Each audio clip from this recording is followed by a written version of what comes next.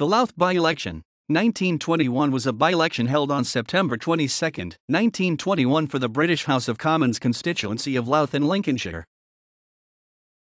The seat had become vacant following the death of the Liberal Member of Parliament, MP, Thomas Wintringham on August 8, 1921.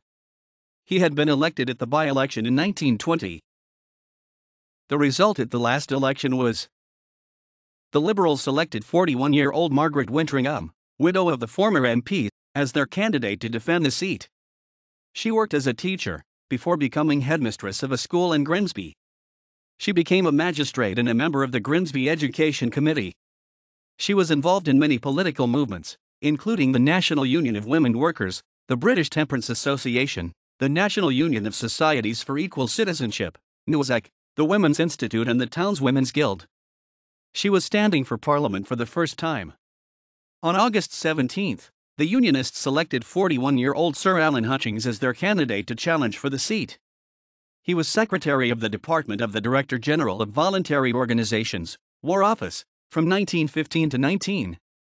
He was standing for Parliament for the first time.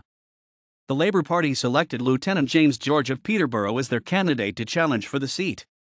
He was standing for Parliament for the first time. Polling day was set for September 22, 1921, 45 days after the death of the former MP, allowing for a long campaign.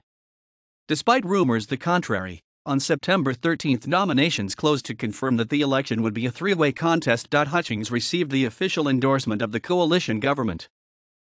Wintringham held the seat that her husband had gained for the Liberals in a by election the year before. Wintringham became only the second woman to take her seat in the House of Commons and the first female Liberal MP.